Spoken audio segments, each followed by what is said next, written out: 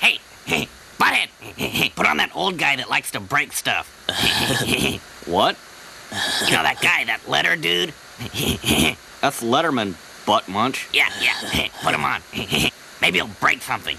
Here is tonight's top 10 list from the home office in Sioux City, Iowa. Tonight's category Top 10 Ways to Break Stuff. Cool. Yeah, yeah.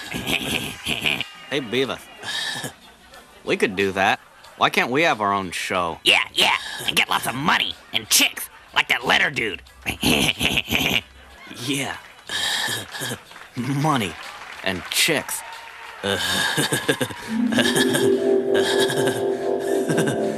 Beavis. It sure is cool having money and chicks. Yeah, yeah.